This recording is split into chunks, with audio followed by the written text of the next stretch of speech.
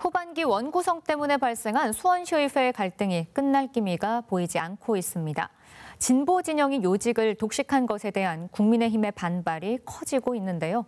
국민의힘 측은 원구성이 정상화될 때까지 모든 일정에 불참하겠다고 밝혔습니다. 이재호 기자의 보도입니다. 제385회 임시회가 열린 수원시의회 본회의장. 진보 진영이 독식한 후반기 원구성에 대해 반발하고 있는 국민의힘 의원들은 피켓을 들고 침묵 시위를 벌였습니다. 17대 17로 양당의 의원 수가 동수인데도 불구하고 전체 상임위를 독식하고 계시는 민주당 의원님들 이래도 되는 겁니까? 회의가 시작된 후엔 5분 발언을 통해 원구성 정상화를 촉구했습니다.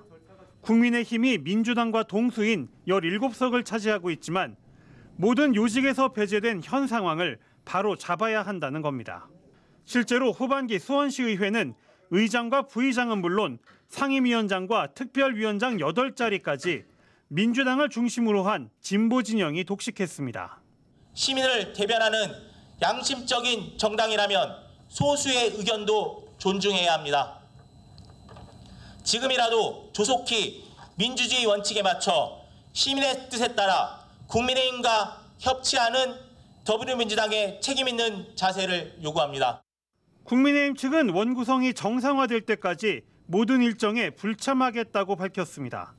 이렇게 되면 이번 임시회에선 국민의힘이 과반인 두 개 상임위원회는 열릴 수 없습니다.